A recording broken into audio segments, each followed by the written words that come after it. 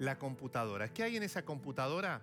Las fotos, la gran cantidad de fotos, la mayoría de las fotos de su nene que murió víctima de cáncer. Y ahora Macarena quiere recuperar no solo la computadora, sino fundamentalmente esas fotos que son, además de, su hijito que queda en su corazón, es lo que le queda, el recuerdo que le queda para tenerlo para siempre en casa. Eh, la computadora es una notebook, una notebook Lenovo G475, es un modelo viejito, eh, están las fotos ahí.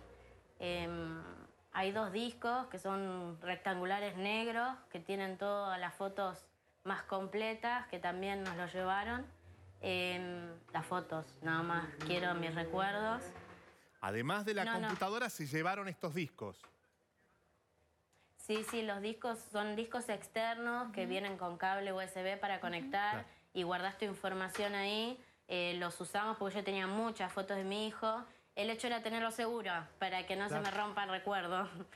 Eh, lamentablemente nos pasó esto, esto estaba en mi habitación y, la computadora en la cocina, así que eh, fueron revoloteando y agarraron las cosas para todo, o sea.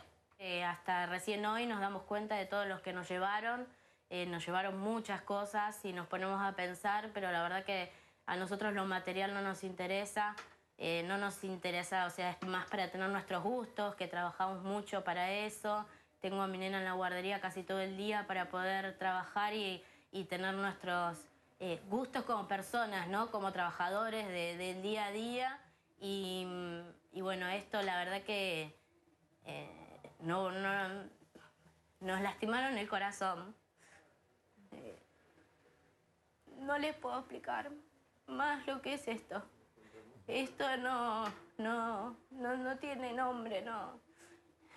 La verdad es que el que robó, eh, lo robó sin saber qué había dentro, es así, roban, roban en todos lados, no, no, no, no, no, no podemos evitarlo hoy, no sé si se puede o no, no me voy a meter en eso, la verdad que quiero encontrar las fotos de mi hijo, eh, es lo que, lo que más me, importa hoy eh, y como familia para poder estar bien, para poder sanar el corazón.